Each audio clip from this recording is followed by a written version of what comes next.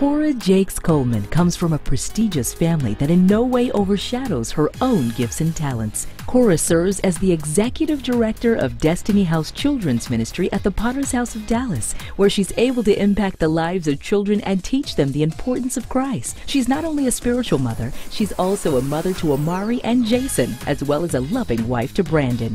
Her fertility faith blog has helped change lives. Her writing has encouraged women and families that are suffering from infertility. I am speaking fertility faith and speaking life into the infertile being so that we can begin to produce our dreams and produce our promises no matter what our fear is. Cora is a dynamic, down to earth preacher who captures God's heart with her prayers and inspires her audience to faith it with her pen, her prayer, and her platform. Ladies and gentlemen, please welcome Cora Jakes Coleman.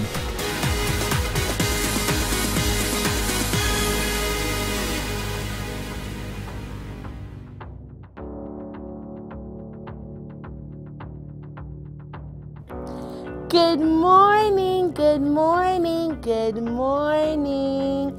I just want to say good morning. I hope that you have decided to start your Monday off with me because I decided to start my Monday off with you, where we are turning our miserable Mondays into message Mondays, not messy Mondays. Come on, somebody. So, today we're going to talk a little bit about me based off of your questions that you have sent. Please continue to send them down below and click like somewhere around here because we're trying to get more likes in these streets in this season, okay? So, the question that I received from one of the viewers was what is my focus in ministry? What's my passion? She knows that I speak to youth, men, young adults, etc. But what is my overall passion? And I love that question because my passion is so broad. Um, but at the end of the day, my, my passion is to help the hurting people, to help those who have lost their way, who have lost their faith, um, when we talk about infertility, of course, I connect with women um, both in infertility, but I also connect with other people on my broader definition of infertility being the inability to produce.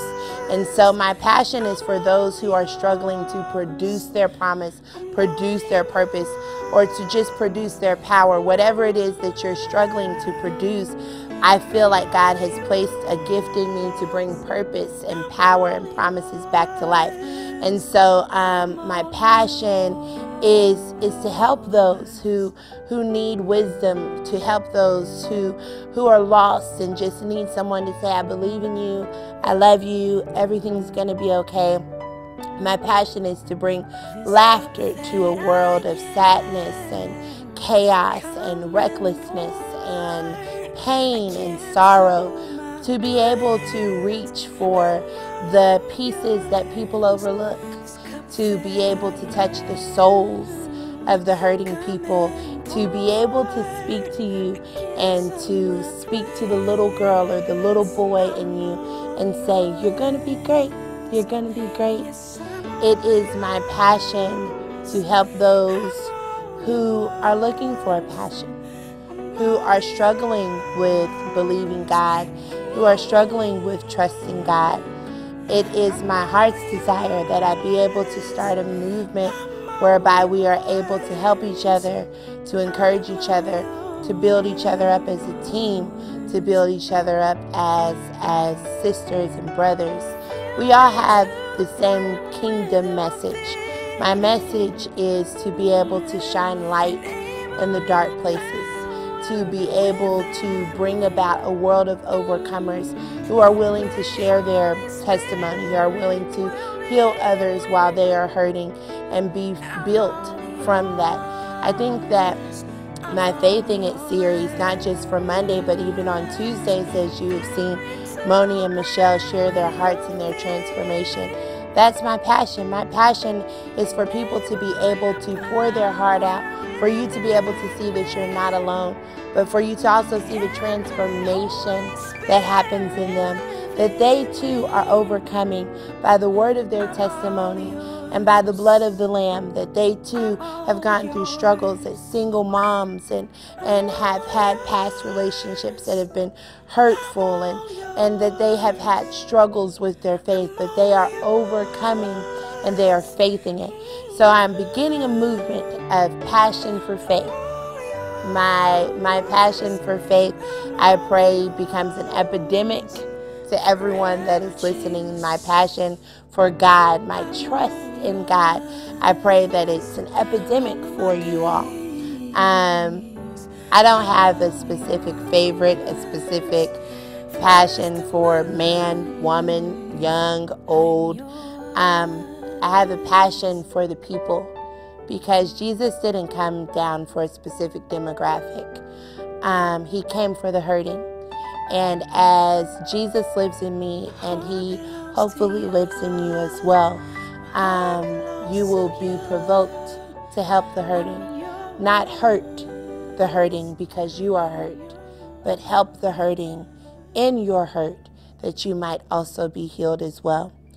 I think that there is a power and there is a virtue when we are able to support one another, to love one another, to give a smile to the mean, angry faces in the mall and to the haters out there. Smile at them. You give me a reason to keep moving forward. I feel like if I don't have enemies, then God can't prepare the table.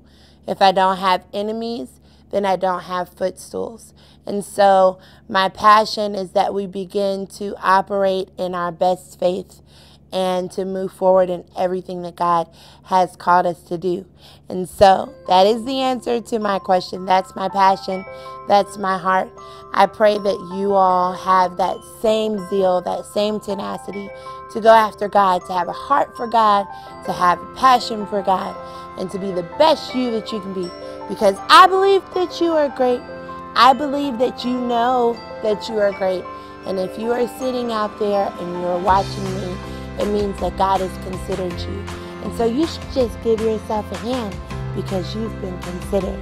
So I hope that in your consideration that you become a champion and not a chump. I'll see you next week. I'll see you next week. I'll see you next week. Please keep asking me questions. I'm here to help you, help you, help you. Click like if you like me and you want more. We're in this together. Let's start a movement. Jordan. Join me.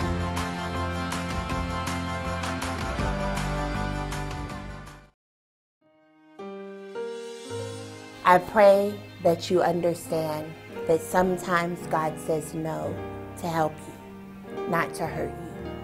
I pray that you understand the patience that comes with the process of purpose.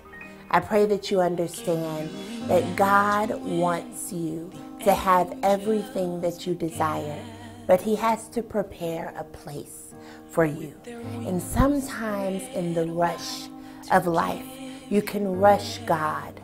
I pray that you slow down. I pray that you understand that there is power in your patience. I pray that you understand that God needs time to prepare this jewel for you. I pray that you understand that you are worth the wait, that you are worth the jewel, and that you will overcome this. I pray that you understand that your desire has to meet God's desire, and that you be willing to surrender and submit yourself to God's no so that you can see his yes. I pray that you are lifted up by your circumstance and that you allow God to push you up to your purpose. I thank God every day for the possibility that his people will trust him in a way that surpasses anything that the enemy can do. I pray that you find strength in your storm. I pray that you find rest in your storm. More importantly, I pray that you understand that God is with you in every step that you take.